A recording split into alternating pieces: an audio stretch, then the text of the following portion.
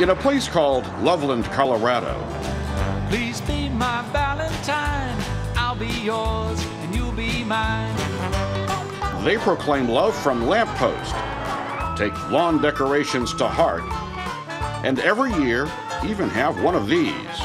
and the 2010 Miss Loveland Valentine. This is a city that dances to Cupid's tune and knows what Valentine's Day means. It means love. It Means love. And this is where they share their love. People from around the world send in Valentines by the boxloads, and volunteers carefully stamp each one on the lower left with a poem and a decoration. Then postal workers put on a Loveland cancellation, and love is on its way.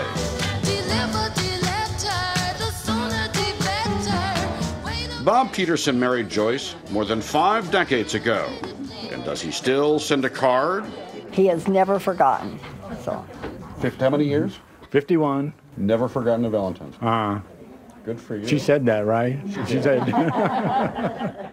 Each year since they started this in 1947, there's been a new stamp and a new poem, some reflecting the tenor of the times, like the poem from the Cold War year of 1957. Atomic missiles are super, we know, but no match for the arrow from Cupid's bow. On Valentine's Day, poetry is no shame, but sometimes, as they say, it's what's in a name. A name like Valentines, Virginia, where the cards flow in and the postmaster does 20,000 cancellations a year by herself and by hand. Or Romance, Arkansas, where the postmark reads, At the end of the rainbow. Lovebirds can send their cards to Loving, New Mexico. And don't forget Juliet, Georgia, and Romeo, Michigan, because Jamie Sampson hasn't, getting cancellations from both these and also Hartville, Wyoming. Even Sugar City, Colorado can say, Valentine, I love you to Sarah. I really enjoy this one. For this, their 16th year together, Jamie got 16 special cancellations. Chocolate goes to your hips and flowers die. These will last a lifetime. But the course of true love may be hitting a technological bump, paper being replaced by e cards. Be my Valentine.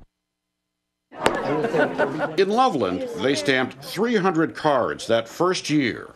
By 1994, 300,000. This year was no match for that record.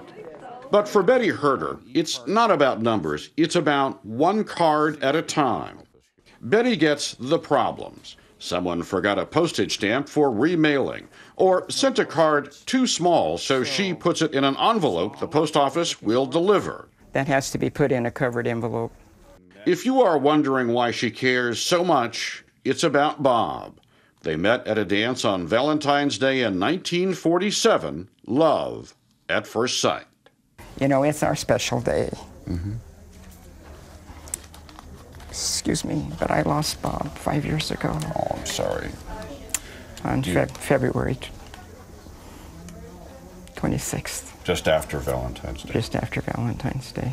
So to her, getting it there really is personal, even when all these cards have is the scrawl of a small child.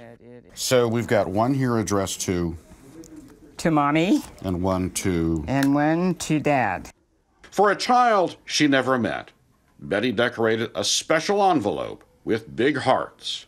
Because young or old, for one day a year, this city lives the adage that when love comes in a card, no heart can resist. Ready to go.